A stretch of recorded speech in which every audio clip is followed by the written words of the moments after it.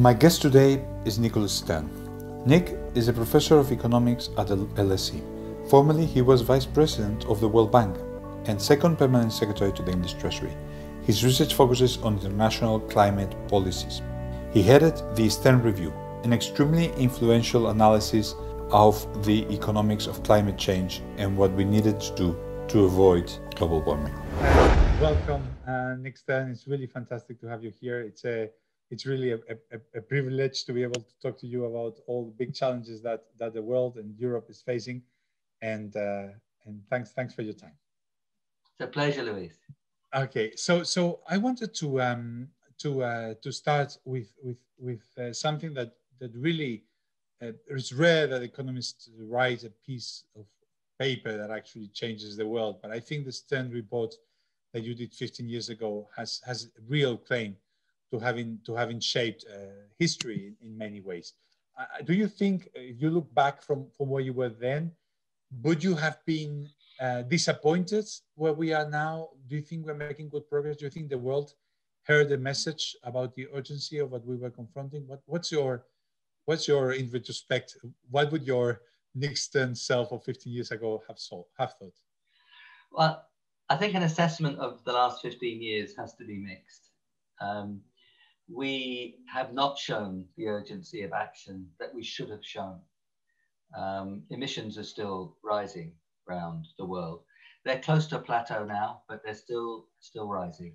So, in terms of the simple practicality of cutting emissions, bringing them to a peak, turning them downwards, uh, we've moved too slowly, and that has uh, increased the danger that we're in you know, we're already over one degree centigrade uh, higher uh, than uh, in average global surface temperature relative to the benchmark at the end of the 19th uh, century.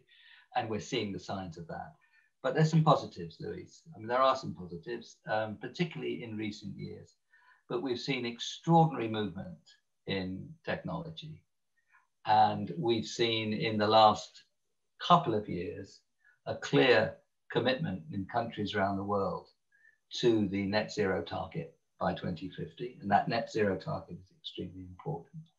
And we've seen more and more countries recognizing that that drive to decarbonize, that drive to net zero, is the growth story of the 21st century.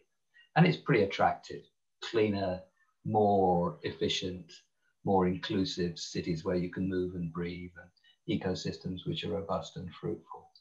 So basically, movement too slow, but a pickup in countries, private sector in the last two or three uh, years, the EU especially, and uh, a recognition that this is actually a very attractive, different, different path of development and growth.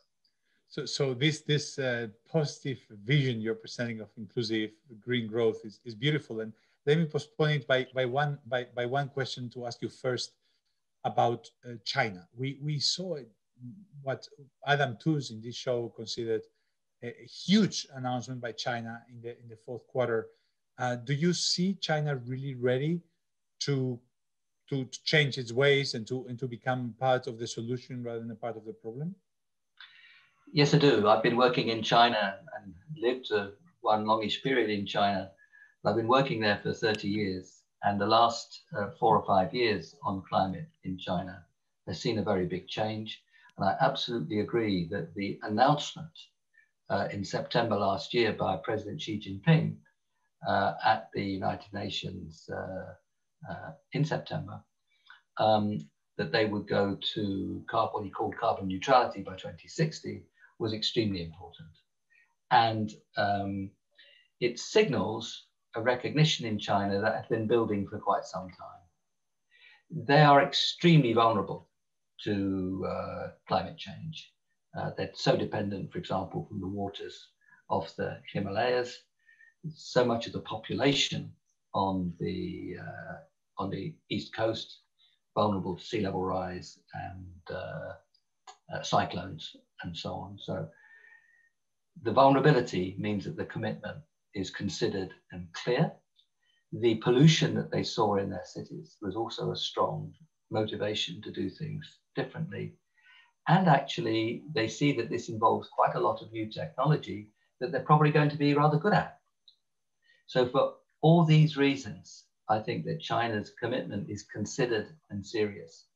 At the same time, as in most countries, there's politics and vested interests. Um, it's not always so visible in China, but every country has politics and vested interests, and so do they. So there are some people who push back. Some people, you know, who are, who are really dependent on the coal industry, who do not want to see coal uh, production and use uh, run down quickly, as it must be. So they push back. Uh, there are those who say we've just had this crisis of COVID that uh, there has been you know, unemployment or slower growth than we're used to in China. Let's just get back by using what we know. We're in much better growth story is to invest in the future and the different technologies, which China's becoming rather, rather good at. So those tensions are there. But I do think that China's commitment is real because it's founded in good arguments, good arguments which have been aired and heard and discussed. But there's still internal battles going on, and coal is not yet turning down. So, so let me go to this positive um, growth, inclusive green that you were you were hinting at before. Um, for for many people, when they see Europe and, and other places, but particularly Europe, significantly raise the standards all the time and, and, and, and, aim higher on climate.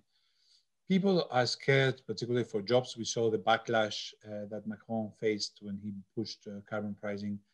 Um, people are scared that they think, okay, what happens with my car industry? For example, if you're Germany or Spain that has a massive car industry, we don't have expertise in electrical cars. We don't have uh, expertise in batteries. We're going to get destroyed. There are many less parts that are needed for electric cars. So, so there is the fear that there's this, this trade-off that if we are going to push this green agenda, it's going to cost us in terms of growth and jobs. You seem to be much more optimistic about that. Give us, give us that, that positive vision. If, yeah. if, if what? I'm very optimistic about what we can do. I worry very much about what we will do because whilst the gains are potentially very large, it does need radical change and uh, that can be badly done or well done. So we as economists have to think through what it means uh, to make these investments, how they can be incentivized, and how the change can be managed. Because radical change is exactly that it's radical change. It involves dislocation, and you have to uh, manage that. But the first thing is to recognize where we need to go and how it can be really uh, attractive and to see what's involved in doing that because that's what we're trying to do. So we have to think it through. Already, many parts of the activities that are relevant here are cheaper using the zero carbon methods, even without a carbon price, even without subsidy, because of the vision of the past and the investments and innovations have been made of the past, even on the back of rather ordinary, perhaps even mediocre policies still that sense of direction has prompted innovation. So big parts of the, most of the electricity supply industry is now cheaper uh, to do in a uh, renewable way, taking into account the cost of storage and grid management and, uh, and, and so on. So the first thing is the vision of where we need to go and to go on driving down those costs across the board. We've seen it in electricity supply, it's continuing there electric vehicles are basically much more efficient. You already said they've got less parts. Well, good. That's a more efficient product. And they throw away. They don't have radiators, which throw away the heat. You know, it's a the internal combustion engine is fundamentally an inefficient way of doing things. An electric vehicles. and it doesn't take so long to make an electric vehicle. But at the same time, change is crucial, and management of that change is crucial. So a big part of the story is not simply the incentives, such as carbon pricing and, and uh, the ban on the sale of uh, internal combustion engine vehicles. It's more than those policies, more than the policies of, of you know, zero emission zones in cities, all those things which are necessary. But it's more than that. It's managing the dislocation. And I think actually that some countries are starting to do that well. And my friends in, uh, in Spain uh, are very focused, as, as I'm sure you know, on this, uh, on this issue. Uh, the European Investment Bank has uh, been making very sensible support in Poland and elsewhere on uh, retraining, because after all, the dislocation is in large measure about investing in people and investing in places. It's also a social safety net, but the more positive story is to invest in people and to invest in the places which uh, in which more people are dislocated so that uh, there are can be strong localized effects. So that management of change is, is absolutely fundamental. But the prize is enormous. I mean, so much of this is just more efficient, uh, cleaner. It's where the innovation frontier is moving, uh, moving very quickly. And of course, the fundamental gains of the reduction of the immense risks of climate change. Mm-hmm. The, the um, COVID pandemic, in a way, uh, has been a plus and a minus uh, in terms of, of, of, well, it has been a completely catastrophic uh, thing for humanity, but it has kind of shown us that that you know there is a, a cost to not acting together and to not being in not being able to act as, as, as, a, as, a, as a world together. You have written about this with Stiglitz and other co-authors. You write that that the climate is a bit like COVID, uh, but climate is more in slow motion. Uh, it's not a very reassuring metaphor. I mean, what have we learned in, from the COVID pandemic in terms of, of the public reaction, of cooperation uh, for a fight against climate change?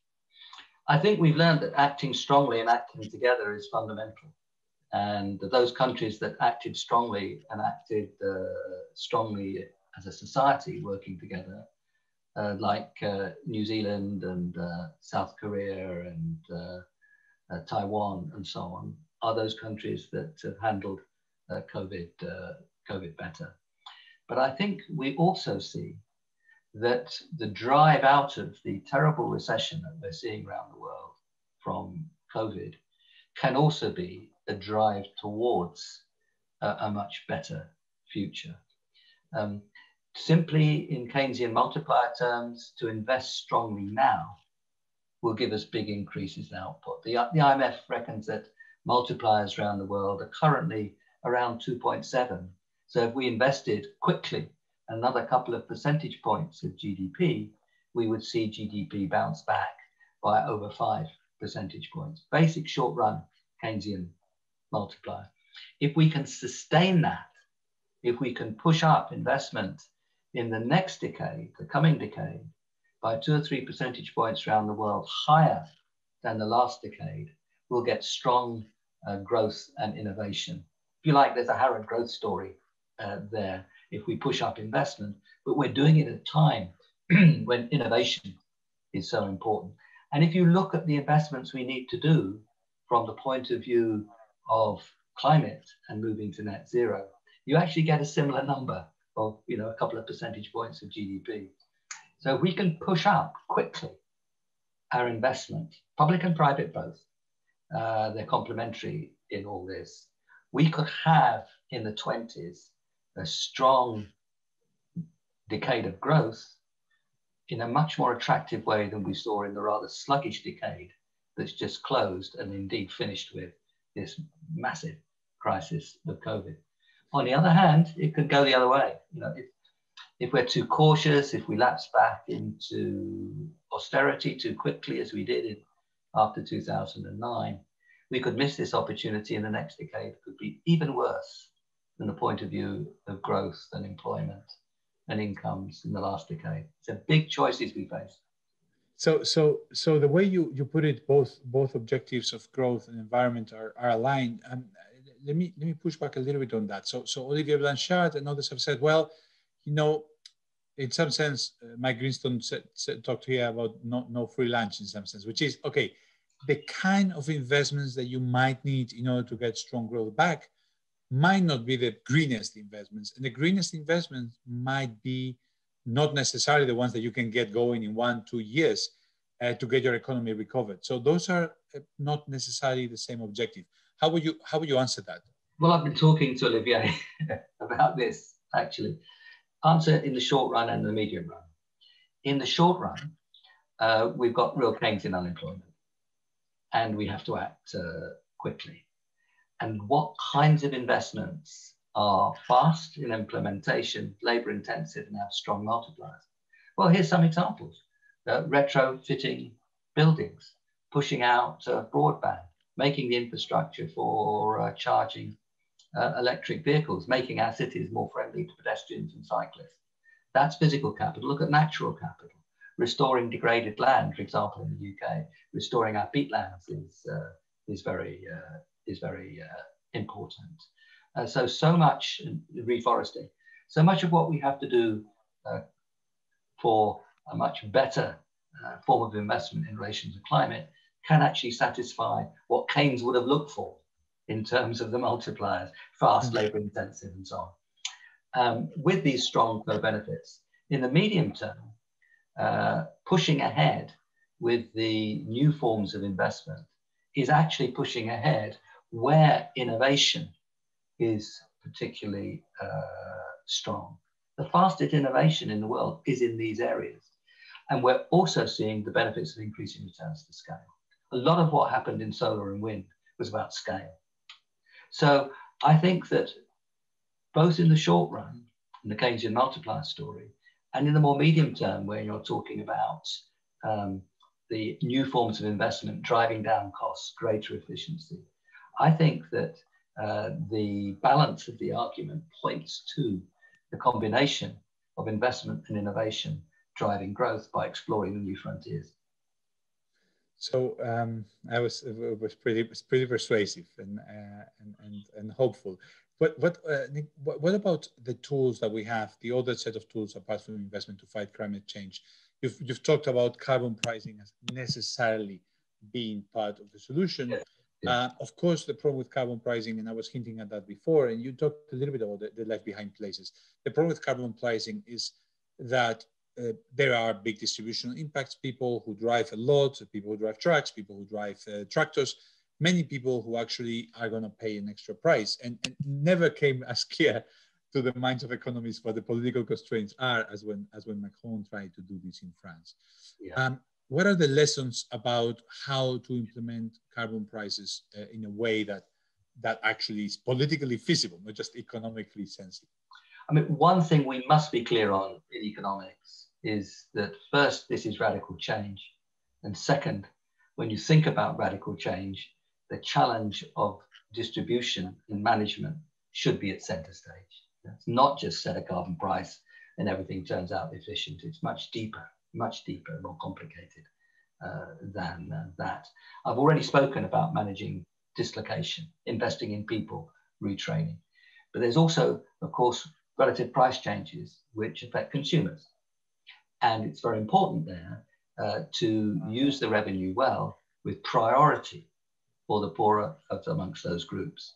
Now, on balance, uh, the rich consume more energy than the poor um, by quite a lot. Now, it may go down as a fraction of income, but they still consume more energy than uh, poor people. So there'll be revenue there, uh, which can be redistributed towards the poorer people. It should be possible to make virtually uh, everybody at the bottom end uh, better off uh, using the revenue from uh, carbon prices. That should be a strong uh, priority. We also have to remember that poorer people um, don't buy new cars. At least they buy less new cars than the richer people. So switch over to electric vehicles will take time to come into the second-hand, the used car market there are quite a lot of parts of this story where the distributional implications are quite complicated, but they should be front and center of policy. And you shouldn't announce a policy and then fix the distribution side later.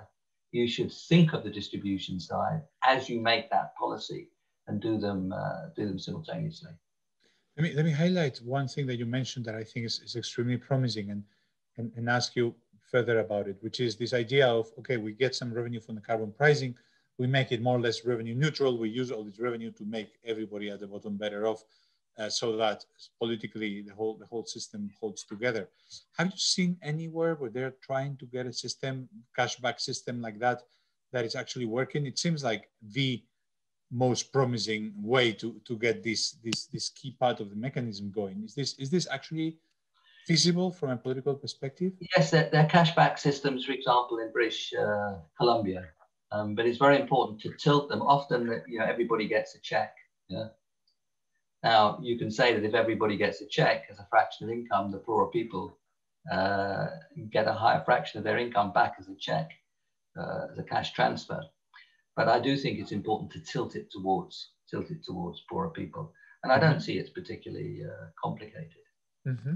You know, you could even make the you know the cash payment for rich people make it flat, but make it taxable for rich, make it taxable so the poorer people, you know, who are below the tax net or paying tax at a lower rate. There are various ways of tilting the redistribution in favor of uh, favor of poor people. Mm-hmm.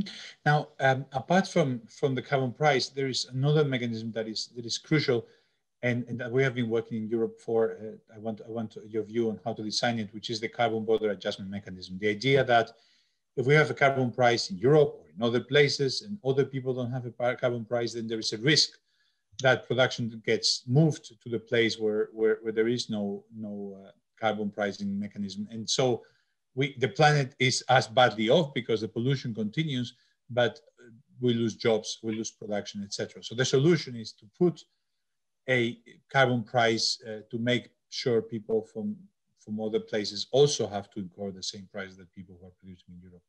Um, this has proven very, very hard to design. Mike Greenstone told me he was trying with Obama very hard to design it. They didn't manage apparently yeah. for the US. Uh, what's your view on, on what's the way to get this mechanism? Yeah. Well, there, there are a number of aspects. First, theoretically, the argument is correct. Yeah. Second, its empirical application is very narrow. It's essentially energy intensive, trade exposed industries. Um, and the empirical evidence is that there's very little movement of uh, production towards sort of dirty havens, if you want to call them that.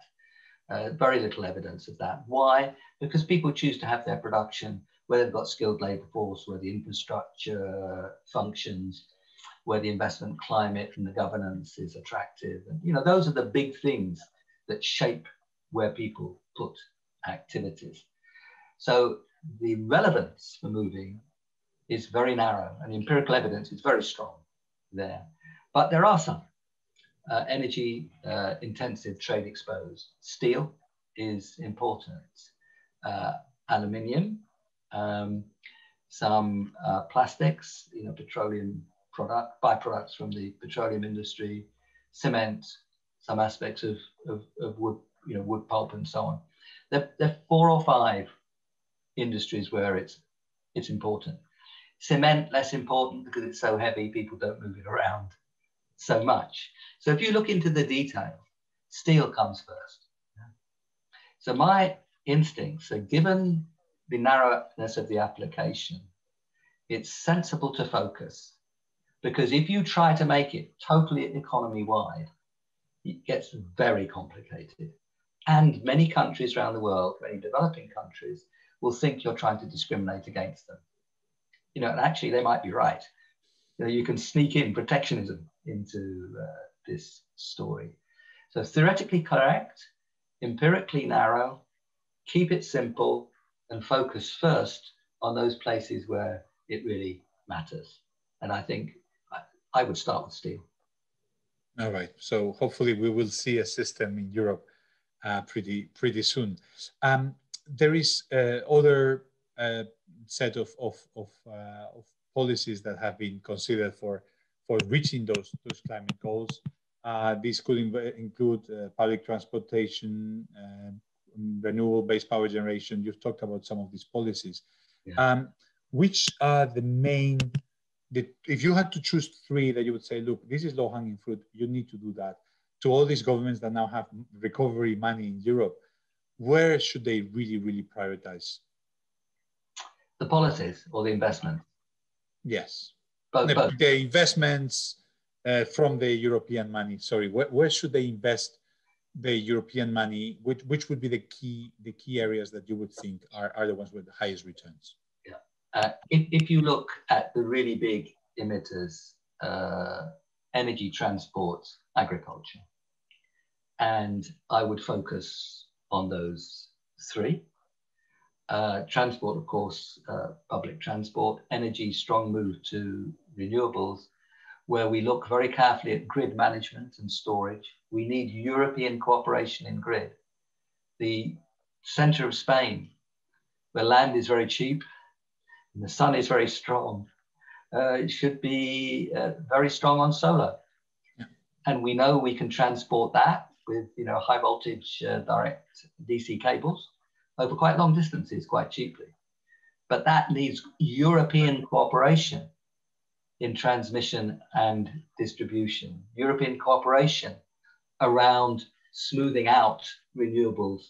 The bigger area you smooth it out over, the easier it is to smooth it out.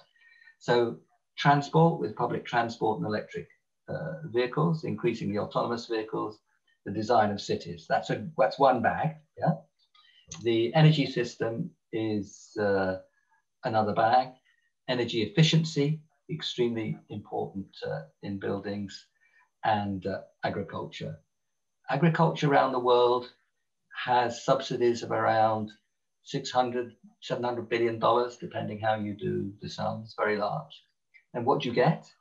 You get degraded land, you get poisoned uh, waterways and rivers, and uh, you get cut down forests. Now, those impact in different ways in different countries around the world, but Europe has its share of that. And it's not that I would reduce the agricultural subsidies, I would make them different. I, public money for public goods. And we could have a much better, actually more productive agriculture and much less degrading of the environment. And incidentally, you could orient it towards uh, away from the very rich farming enterprise towards the smaller farmers. So there's so much that could be done. But if you're looking at big reductions, look at the big areas. And those are the ones I've tried to uh, describe.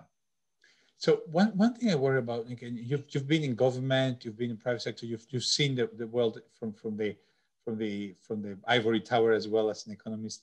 Uh, one thing I worry about is we, we're giving enormous amounts of sums to be invested by governments.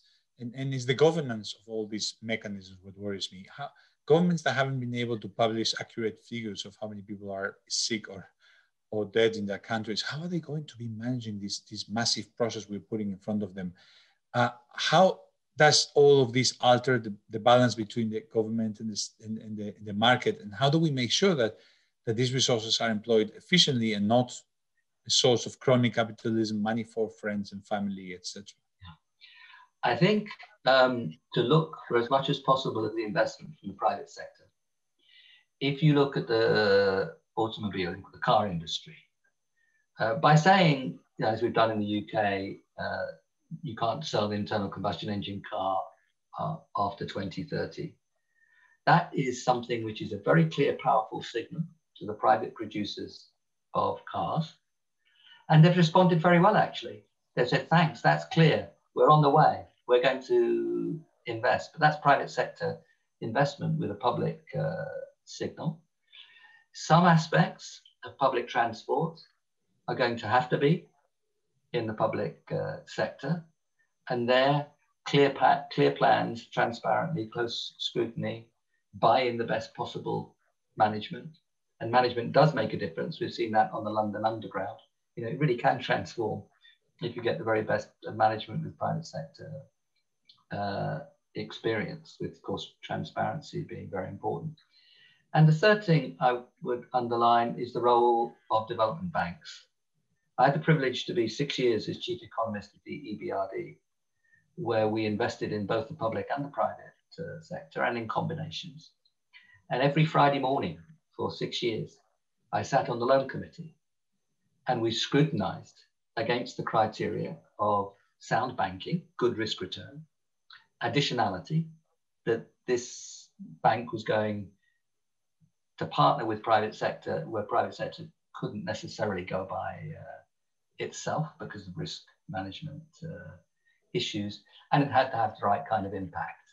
Now, in the case of EBRD, it was moving the transition forward in those countries of Central Europe and the former Soviet Union, Central Eastern Europe and the former Soviet Union. Here it would be, you know, objectives around leveling up across Europe, particularly, of course, moving to uh, zero, zero carbon. So I think the mechanism of the investment bank, that has to be transparent and accountable too, of course, that can help with this kind of issues. So those decisions are not buried inside a ministry. They are taken within a public organization with a clear mandate and principles and is accountable. I hope that's I hope that's feasible. There is another governance you can't take it away, Luis, but you can you can act to reduce. You can get it better. The, the, um, there is another governance issue that I want to raise with you, which has to do with the role of, of central banks in all of this. There's been a big discussion uh, lately uh, between economists on one side and the other in the debate. Uh, Cochrane, for example, on one side, uh, Isabel Schnabel from the ECB on the other, on whether the ECB and other central banks should be involved in fighting uh, climate change. Uh, some economists say, look, uh, this is not in your mandate. John Cochrane has said this. Uh, this requires a political mandate. You're going too far. You're straying into, into, into, into areas where there's not necessarily backing, democratic backing. Others have said, look, um, you're from a prudential angle, you need to be watching for the risks that come from all angles. Second, you need to you need to uh, uh, support the general policies of the European Union. So that means climate. Um, how is this risk reward uh, equation in your mind? Should central banks be taking an active, really determined role in this direction? Uh, yes. The, um, I think central banking uh, should be about uh, stability and growth. Now, the first thing we think about central banks is price stability. And uh, that's as it uh, should be. But we know that they do have to think about stability of the financial system. And we actually know they have to think about the stability of the economy. They do worry about unemployment, and they should worry about unemployment. And it's the skill of good central banking to think through how they manage price stability. That's the first one. But they know it's not the only one. There's financial stability and there's unemployment and growth as well. So what we're talking about here when we're talking about uh, climate, we're talking about in important ways financial uh, stability because this is a process of change where capital asset values are likely to change very quickly, where relative prices are going to uh, change quite quickly. And that will affect the stability of financial uh, in institutions. There are also the physical risks, which the insurance companies are very much concerned with, and uh, they are very big players, of course. And uh, increasingly, there are going to be litigation risks as well. And that's playing itself through in quite interesting ways in diff different parts of Europe, actually, different parts of the world. So, financial stability and risk to the financial system must be something that central banks worry about. But I also think the story of growth and unemployment uh, is fundamental. I mean, banks, the central bank is there to facilitate, in some broad sense, the functioning of the economy from a point of view of particularly the role of financial institutions in the functioning of that uh, economy. What is so important about the functioning of the economy in the coming 10 years and beyond? But, let's just talk about the it is changing very quickly to much more sustainable forms of investment and increasing investment quickly. So I think central banks, when they think about their role in stability and unemployment and growth, always putting price stability first, have to think of this issue. And even simply as a facilitator, you could put it more strongly, but even simply as a facilitator or accommodating this kind of change, then I think they do have a role to play. It should be driven by the finance ministries, by the economics ministries. But do central banks have to take this into account? And can they be helpful? Yes, they should, and they can be helpful. So I, I, can't I can't let you go uh, as, as, a, as a person so involved in, in, in British uh, policy and political life without asking you about Brexit, of course. Um, we, we, we had very recently uh, the news that the UK is not wanting to recognize the, the European ambassador as an ambassador. They want it just to be some international organization with not a representative rank. And it has, it is a kind of a nugget for for the risk of, of, of, the future, right? Which is that we start growing apart, that the UK, Europe uh, see themselves increasingly as rivals and not as partners, and that this this relation just deteriorates badly. And, and there are many ways that this could happen through Northern Ireland, to financial services, many many things. Um, how do you feel about this this process, and, and how should we manage it? If you have any advice. Um, I was strongly and publicly against Brexit. I thought it was a very bad idea. I think it's a very bad idea. But here we are. You know, it's happened. So we have to look forward. So the challenge now is how can the UK and Europe work together? It's one thing to say be nice to each other, and we should, yeah, we should be. But I think these things, the uh, the the friendships, the ties, are deepened by collaboration and working together. And I think climate is one such issue where the UK and Europe are very much on the same page. There's so much they could do together. They're centers of thought about policy. Um, they're centers of thoughts, uh, uh, of creativity around technology and uh, universities and research institutes. Um, they should be places where the challenge of how to manage change is one which is explored together and we learn from each other. So, whilst I regret what happened, I think working together on common uh, challenges is arguably the best way to bring ourselves together. Uh, on the particular point about the treatment of the EU ambassador uh, to the UK, I, I think just think it's absurd. We should treat the EU ambassador as every other country in the world does, like an ambassador, right? And uh, when the U, when the UK was in the EU, it benefited from uh, from that. So I hope that uh, is seen as, uh, as they used to say in earlier days, a little local skirmish. Yes. I, I hope it's resolved in a sensible direction, which means yes, I, I really do hope that is, yeah. I really do hope that is not a, uh, something about about what is to come and and uh, and, it's and petty. I, it's petty. It shouldn't have happened. Yeah. Shouldn't happen.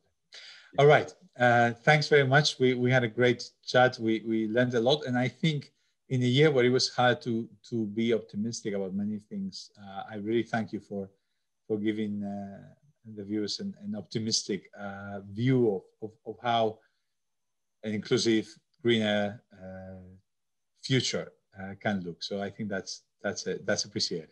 Oh, thank you, Luis. just to underline, I'm optimistic about what we can do.